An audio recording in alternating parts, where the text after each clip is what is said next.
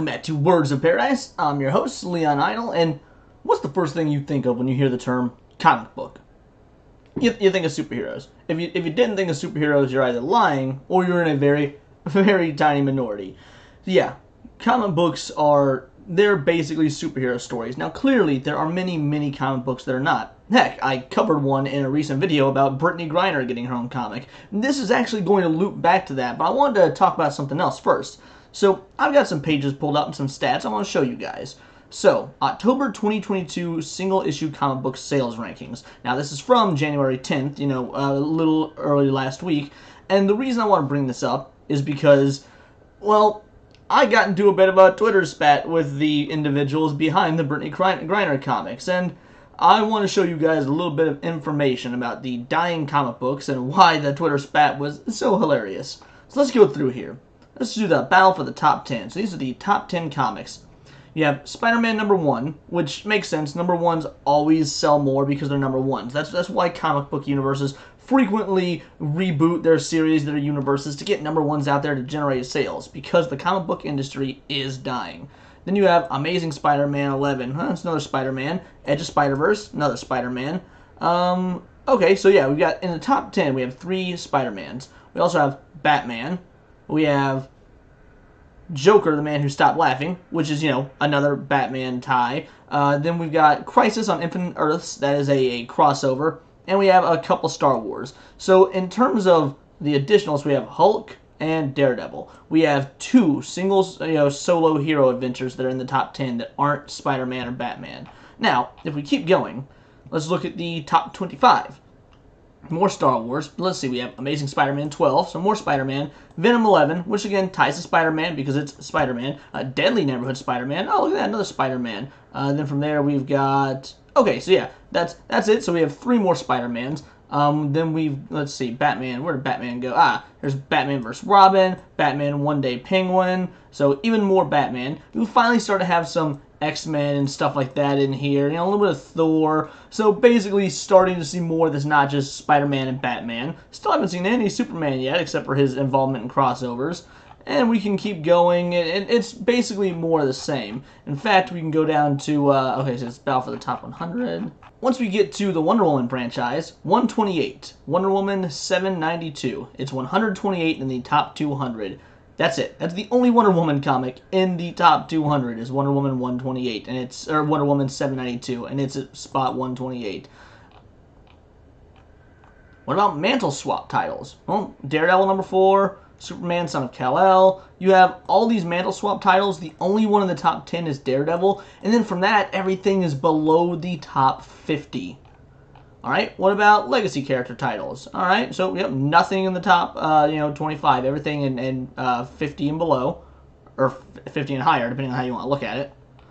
What about top female lead titles? The very first one is Poison Ivy number five. That's at number 30. Then we have Punchline, the Gotham game number one. And so you've got one, two, three, four, five, six in the top 100, and then all the rest lower than the 100 spots. All right. What about top minority leads? All right, we got Wakanda number one, another number one, a relaunch. This is one of five. So, and speaking of, it's number uh, that's 66. At 86, we have Black Panther number 10. So, you know, pretty pretty re recent series. Uh, and then we've got Miles Morales, Spider-Man. That's also a legacy character. That's uh, it's a, a mantle swap.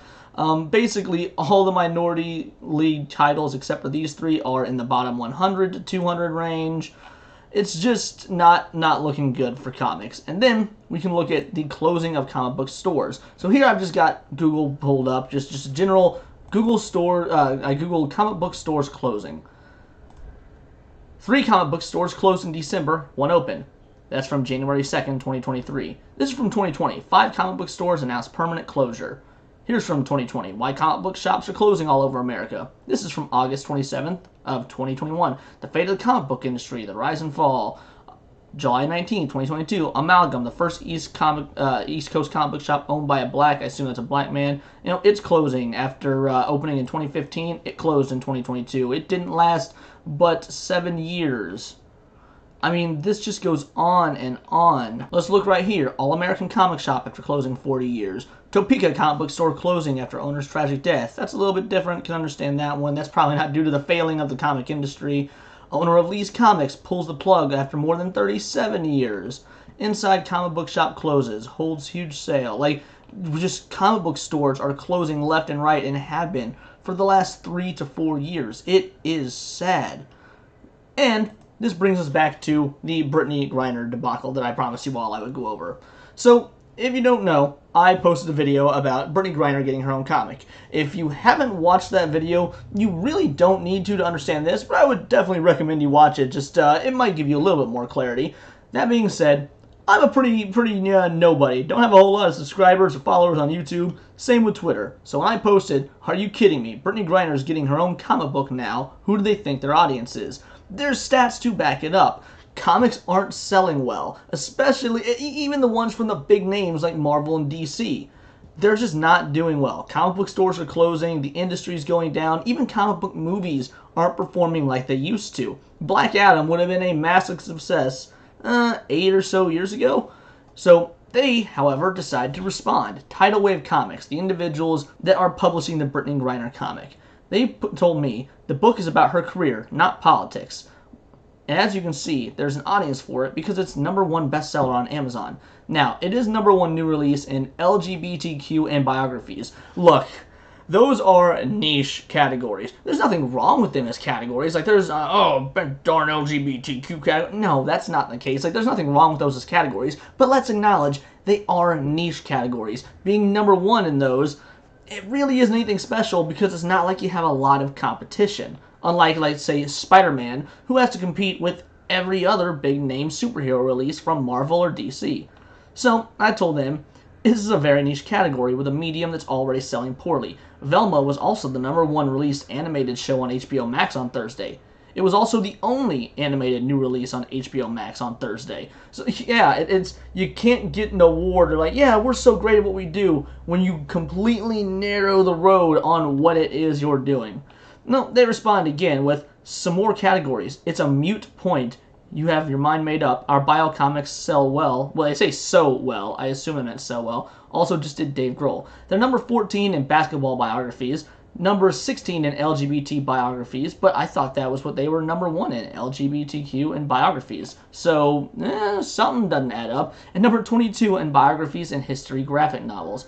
Look, these are not these are not the flexes you think they are. These are not W's. If you were number 22 in biographies and history graphic novels, that should be your you just dropped this you're oh, you're number 22 and you just dropped this. This is a biography graphic novel. This is a biographical and historical graphic novel, and you're only 22. You said here you're number one in LGBTQ plus biographies. Here it shows you number 16, number 14 in basketball biographies. That's not good, especially considering it's a comic book. What what do comic books cost? 3.99, 4.99. Let's say this one costs 10 bucks. Who knows? Point is, this is not the W you think it is. So this, I had two replies. Uh, the first one being, well, there's proof you didn't watch my video, considering I mentioned the Dave Grohl comics. So I guess you already have your minds made up as well. Which it seems like they do. They clearly didn't watch my video because I mentioned the Dave Grohl comic. I also tell them, also for future reference, it's moot point, not mute point. For any of you guys that are watching this that might say mute point, you are wrong, but that's okay. You have this time to correct yourself. It's moot, M-O-O-T, moot point may want to make sure your grammar is correct if you're going to be writing comics and advertising on Twitter as a company that makes a living off of, you know, writing. Now, I thought it would probably end here, but they had one more remark, and it's one that solidified a W for me, if I'm being completely honest. It's why I have copy editors. First of all, it is why. You mean that's why. You couldn't even get here. That's why I have copy editors, is what you're supposed to say. But flat out saying I'm an awful writer, that's why I have editors, also not the flex you think it is. I, I am a bit dumbfounded if I'm going to be completely honest. Look, this Brittney Griner comic, it, it's not winning any awards. Uh, it's clear they didn't watch my video because I, I went over what a mistake this was. Uh, probably the Dave Grohl comics don't exactly sell except to a niche audience either. But all in all, this video was to illustrate first of all, my first foray into Twitter drama, so yeah, that was awesome. Um, but also that this company, they don't care. They're not looking for constructive criticism or any sort of advice from fans of the industry. They didn't even watch my video. If they did, maybe they would have heard some of the things I had to say, some of the criticisms, some of the acknowledgments, you know, just anything. But they didn't watch the video. That was very obvious in their response, considering they made it sound like I didn't address things that I absolutely did. And I also couldn't even write with good grammar. Comics are already failing. This is for all of you companies out there, not just Marvel and DC, anyone, independents, smaller companies. If you are a comic book company and you want to succeed, well, step number one is know your fan base. Um, it seems that that's something that so many individuals have forgotten nowadays. Comics are already failing. They have been for a while. They're not performing like they used to. The movies are even going downhill, both in quality and in financial stability. Stan Lee once said that comics are like boobs. They look great on a computer, but there's nothing like holding them in your hand. Well, while I do agree with him on a personal level, I guess a lot of people don't, because even comic book stores are closing in droves and have been for the last four years. So how is it that Tidal Wave Comics are so entitled that they think that this is how you treat individual customers?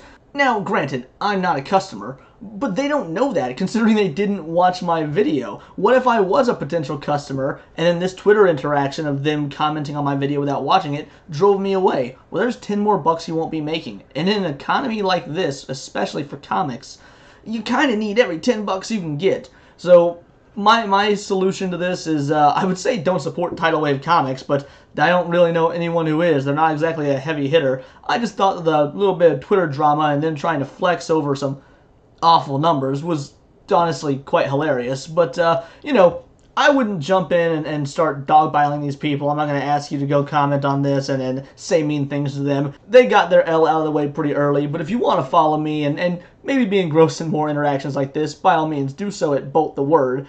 And please do subscribe to the channel. I love growing it. I'm really working on it in 2023. You guys can be there for it because mostly I cover nerdy news comics, video games, anime, the whole nine, and occasionally do movie and video game reviews. If that's something you're interested in, please do subscribe, because this has been Words of Paradise.